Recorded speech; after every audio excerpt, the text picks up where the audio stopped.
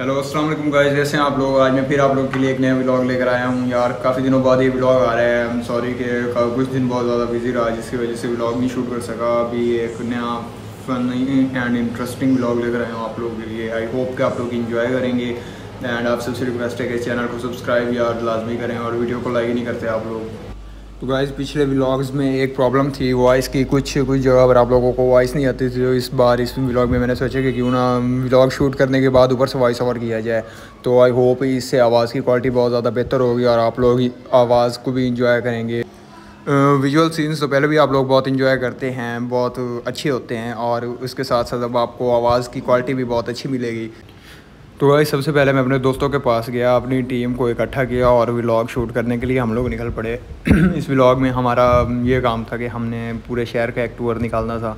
काफ़ी दिन हो गए थे, घर में बैठे बैठे बहुत ज़्यादा बोर हो गए थे तो इसलिए सिटी का राउंड लगाते हैं, थोड़ी रिफ़्रेशमेंट हो जाएगी दोस्तों के साथ मिलजुल के, थोड़ा माइंड फ्रेश हो जाएगा। हाँ तो एक और नया लड़का है यार, वो काफ़ी दिनों से मैं कह रहा था कि मुझे भी व्लॉग में लेकर आओ। हम व्लॉग के लिए तो निकले बट यार जैसे ही हम वहाँ से निकले तो हमारी रास्ते में आगे बाइक ख़राब हो गई। अभी हम निकले ही थे तो ये देख लो, देख सकते हैं आप लोग, अब मैकेनिक के पास आए हुए हैं। बाइक का यार चैन ख़राब हो गया था, पता नहीं क्या प्रॉब्लम हो गया। अभी ये ठीक कर रहा है मैकेनिक इसको, आप देख सकते हैं। यार पता नहीं क्या प्रॉब्लम्स ही प्रॉब्लम्स बनी पड़ी हैं सारी। ना ही व्लॉग्स पे व्यूज़ आते हैं और ना ही व्लॉग बनाने का टाइम मिलता है यार। खैर बाइक तो ठीक हो गई, अब आगे चलते हैं। असल में ना यार, आज हमारा क्रिकेट खेलने का बहुत ज़्यादा दिल कर रहा है तो इसलिए हम लोग क्रिकेट खेलने के लिए जा रहे हैं बेसिकली टी एम ए के ग्राउंड में। यार टिकटॉक के ऊपर मेरा जो व्लॉग्स वाला अकाउंट है, उसके टेन के फॉलोअर होने वाले हैं। एटी सेवन हंड्रेड हो चुके हैं यार, जल्द से उसके भी टेन के फॉलोअर करा दो यार, ताकि वो मोनिटाइज हो जाए, उसके बाद व्लॉगिंग का मज़ा भी आएगा। यूट्यूब पे तो अभी बहुत ज़्यादा देर है, क्योंकि यूट्यूब पे तो सब्सक्राइबर ही नहीं बढ़ रहे यार। यार, मेरे ख्याल में आप लोग कबीर वाला को देख देख के बहुत ज़्यादा बोर हो गए हो गए तंग हो गए हो गए तो अगले व्लॉग में हम लोग किसी और सिटी में जाकर शूट करेंगे और किसी नई लोकेशन पे जिसको आप लोग इन्जॉय करेंगे।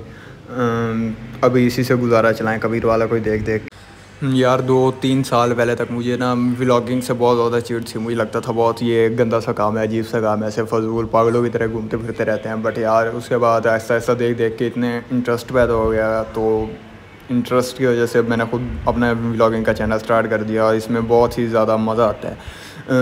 बनाने वाले को भी बहुत ज़्यादा मज़ा आता है और देखने वाले को तो उससे भी ज़्यादा मज़ा आता है। यार, कुछ दिनों में मेरे ख्याल में तो तकरीबन अगले चंद सालों में व्लॉगिंग एक हॉबी बन जाएगी। व्लॉगिंग देखना भी एक हॉबी बन जाएगी। मतलब लोग ऑलरेडी बहुत ज़्यादा लोग एडिक्ट हो चुके हैं व्लॉगिंग के बट और मज़ीद एडिक्ट हो जाएँगे व्लॉगिंग देखने के। यार आइंदा आने वाले टाइम में हम लोग पाकिस्तान के तकरीबन सभी शहरों के ऊपर डॉक्यूमेंट्रीज और व्लॉग्स बनाएँगे। आप लोगों की सपोर्ट की बहुत ज़्यादा ज़रूरत है। आप लोग अगर ऐसी सपोर्ट करते रहेंगे चैनल को ग्रो करवाएँगे व्यूज़ और लाइक्स आएँगे तो हम पूरे पाकिस्तान के एक एक शहर को एक एक कोना एक एक चप्पा डिस्कवर करवाएँगे आप लोगों को अपने व्लॉगिंग और डॉक्यूमेंट्रीज़ के थ्रू ट्रैवलिंग का तो मुझे पहले ही बहुत ज़्यादा शौक़ है तो अब ट्रैवलिंग के साथ खुद तो इन्जॉय करूँगा ही सो आप लोगों को भी साथ में बहुत ज़्यादा इन्जॉय कराऊँगा। यार पिछली वीडियोस के ऊपर काफ़ी सारे व्यूज़ इंडिया से भी आए हैं तो मतलब ऑडियंस आप लोग सोचते होंगे कि ये कबीर वाला कौन सी जगह है, किस जगह पर है? यार ये पाकिस्तान के अंदर, मुल्तान का नाम तो मोस्टली लोगों ने सुना होगा क्योंकि बहुत फ़ेमस सिटी है पाकिस्तान की। ये मुल्तान के साथ एक छोटा सा सिटी है जिसके अंदर हम रहते हैं और ये आप लोग देख सकते हैं कि कितना ज़्यादा प्यारा है। है तो छोटा सा बट प्यारा बहुत ज़्यादा है। बड़े बड़े शॉपिंग मॉल्स तो इसमें नहीं है, ना ही कोई बहुत मतलब जिस तरह बहुत ज़्यादा एडवांस सिटीज़ में सब कुछ होता है, वैसा यहाँ पे कुछ नहीं है। ये आप इसको एक मिनी टाउन बड़ा टाउन बोल सकते हैं। छोड़ो यार, हम क्या नॉलेज की बातों में पड़ गए हैं। आज का ब्लॉग तो फ़न के लिए था, हम लोग भी यार, बस जहाँ से भी थोड़ा मौका मिलता है नॉलेज की बातें स्टार्ट कर देते हैं। तो चलो यार क्रिकेट खेलने चलते हैं क्रिकेट खेलते हैं। धूप आप लोग देख रहे हैं, धूप, ये लाइट की शुआएँ कितनी तेज़ी से सूरज निकला हुआ है यार, गर्मी पता नहीं क्या चाहती है यहाँ से। यार, हमारे दूसरे साथी कहाँ रह गए? दोनों नज़र ही नहीं आ रहे कहीं, यार। यार, इस व्लॉग के ऊपर आपसे एक ही रिक्वेस्ट है कि बस वन थाउज़ेंड व्यूज़ ला दें और लाइक्स भी कुछ कर दें। लाइक्स की वैसे ख़ास ज़रूरत तो नहीं होती यार वन के व्यूज़ की बस डिमांड है यार, इतने ला दो, उसके बाद अगला व्लॉग इससे कई गुना बेहतर आएगा। असल में ना यार, पिछले व्लॉग्स के ऊपर व्यूज़ इसलिए नहीं आए क्योंकि वो काफ़ी मैंने शेयरिंग भी की थी व्हाट्सएप वगैरह के थ्रू सोशल मीडिया पर शेयरिंग की वजह से मे भी यूट्यूब के एल्गोरिज्म ने सोचा हो कि व्लॉग में दम नहीं है, इसलिए व्यूज़ उन पर इतने ज़्यादा नहीं आए। बट इस पर आई होप के अच्छे व्यूज़ आएँगे। तो यार, हम लोग आ चुके हैं टी एम ए में, अभी हम यहाँ पर क्रिकेट खेलेंगे। अगर हमारी टीम हमारे दोस्त बाकी आए हुए तो बट यार, ये तो बिल्कुल ही सुनसान था, यहाँ पे कुछ भी नहीं था। हमारी बाकी टीम मेंबर्स यार मतलब जो दोस्त वगैरह यहाँ पर खेलते हैं, कोई भी नहीं आया हुआ था, क्योंकि अभी यार, हम लोग टाइम से काफ़ी जल्दी आ गए हैं। अभी हम चार बजे ही आ गए हैं। इसलिए चलो यार, कोई बात नहीं, हम बाद में आएँगे यहाँ पर खेलने के लिए। अभी हम लोग वापस चलते हैं।